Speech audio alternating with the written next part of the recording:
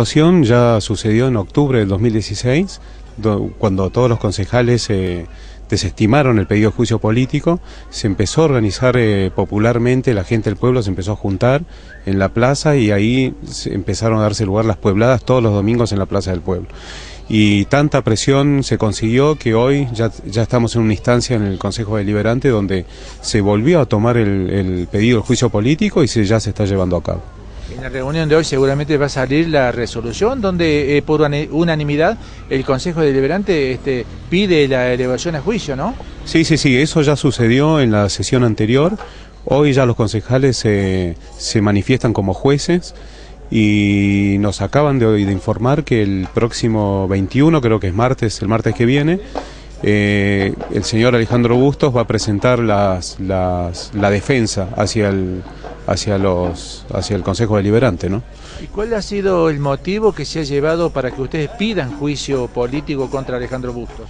El motivo ha sido muchas y diversas eh, malversaciones que, que, en el pueblo eran voz populi y después eh, a través de una denuncia que presenta un concejal en octubre del, del, 2016 eh, con documentación fehaciente de la plata que falta en el polideportivo, la plata que, que llegó a las escuelas primarias y no, no se le dieron uso, la plata que llegaron en diversos momentos para obras públicas en, en agua, que tampoco se, se usó.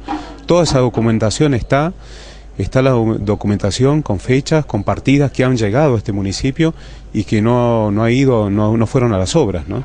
¿Hay pruebas contundentes para que Alejandro Bustos este, se llegue a esta situación?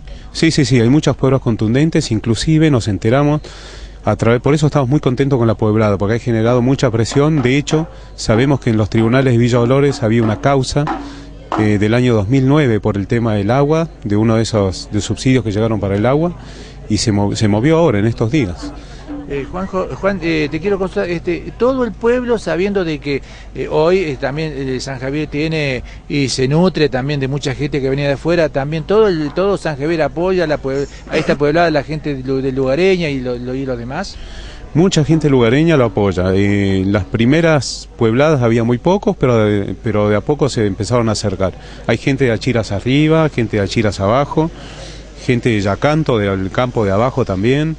Eh, en las puebladas eh, donde hemos caminado hasta la casa del intendente y a la casa del, legislador eh, Oscar González, porque a él también le hemos hecho un pedido grande, él, consideramos que él ha sido un elemento que ha tapado mucho esta situación durante muchos años.